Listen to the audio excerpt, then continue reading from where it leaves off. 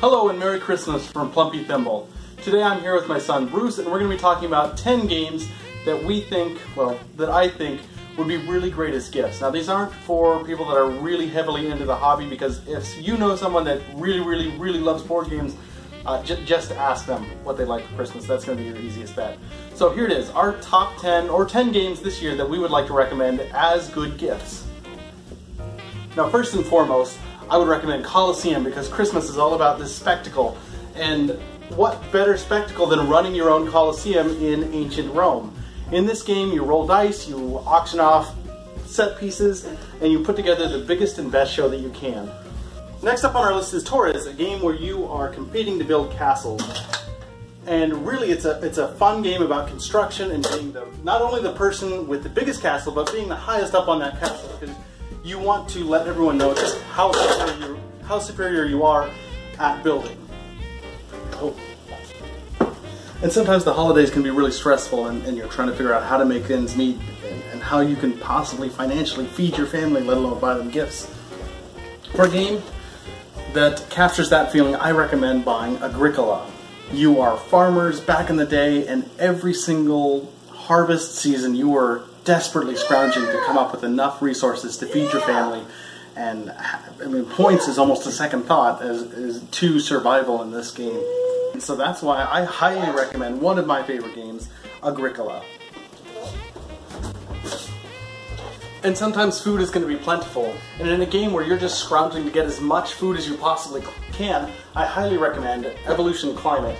In this game, players are working on their own specific species and adding traits to it in order to not only survive and eat the most food, but in some cases build up survival mechanisms so strong that they start eating the other players. It's competitive and you eat a ton of food, so I highly recommend this game. There's certain elements about the holiday season that really brings the family together, and nothing I think so does so more than, than gambling. Now with the Vegas dice game, you can go through all the motions of gambling without any risk of actually losing any money um, or even points for that matter, because you're just making points. A lot of Christmas preparations are centered around food, and what better game to play than Herbaceous, a game where you are picking and gathering herbs. And the best part is, if your family's not interested at all, you can play it by yourself. Perhaps a little bit more difficult than some of the games on this list, I am going to recommend Argent the Consortium. It's a huge game in which players are competing to become the next head of a magical school. Um, and in so doing, they're trying to figure out what the voters are looking for and to achieve those goals themselves.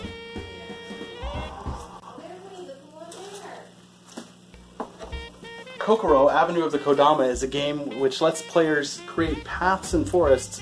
Uh, I guess they're leading worms and flowers to little sanctuaries within the forest. Now it's a cool little game because it plays just as well with one player as it does with eight players, and really if you got multiple sets you can play with as many people as you have. It's a, a thinky, puzzly little game and one of my favorites that I backed this year on Kickstarter. A board game staple for families is Monopoly, and I mean, I'm going to get some flack for even including this on the list, but I'm going to include Monopoly Gamer Edition as a really great Christmas gift because it condenses Monopoly into a 45 minute um, essentially Mario Kart or Mario Party type situation. I like Ralph. There's no, there's no Wreck-It Ralph in this one. That would be pretty cool though. And lastly, for a game that I think would make a great gift is Century Spice Road. Now, this is the Golem edition, so this isn't. It's, it's essentially the same game. It just looks a whole lot cooler than the one that's that's cheaper. But in this game, you are trading cubes and uh, turning them into other cubes, in, in which case you use those to buy cards, which get you points, and then whoever has the most points. It's really not a very interesting sounding game when I explain it, and it wasn't one that I was interested in until I actually tried it. And it works well, it's easy to learn and teach, and it's an absolute blast. Uh, our top 10 gifts that we would highly recommend to give as board games this year for anyone that is even remotely interested in board gaming. So have a wonderful season with your friends and family. Merry Christmas from Plumpy Thimble. It's a really fun dice game, replaces everything similar to Nazi fruit. Nazi.